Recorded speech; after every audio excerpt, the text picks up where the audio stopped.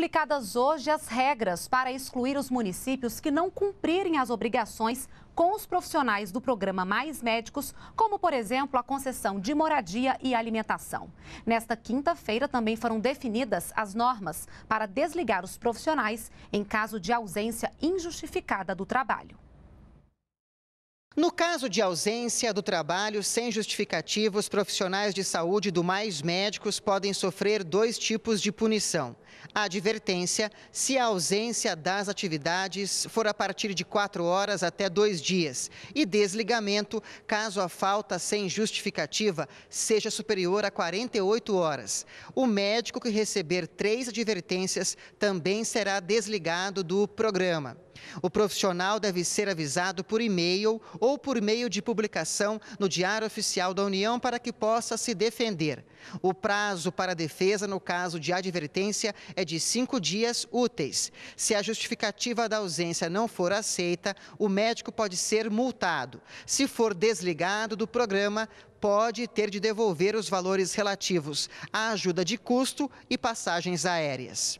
Para serem aplicadas a advertência e o desligamento, as secretarias de saúde precisam ser informadas pelo gestor municipal do Mais Médicos da ausência injustificada do profissional.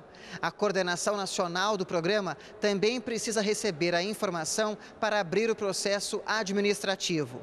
Caso ocorra o desligamento, a coordenação nacional também tem de avisar ao governo federal para dar início ao descredenciamento do profissional.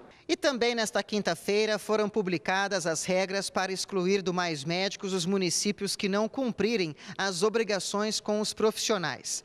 Caso não paguem os auxílios alimentação, transporte e moradia, os municípios deverão apresentar uma justificativa por escrito em até cinco dias úteis e resolver as pendências em até 15 dias, com possibilidade de prorrogação desse prazo por igual período. Se isso não for feito, os municípios podem ser descredenciados e os médicos transferidos para outras localidades, de preferência na mesma região. Segundo o Ministério da Saúde, o programa Mais Médicos conta atualmente com 6.658 profissionais, atuando em mais de 2 mil municípios e 28 distritos indígenas. Em março, o programa vai receber mais 2.890 médicos e chegar a 9.548 profissionais em 3.279 cidades do país.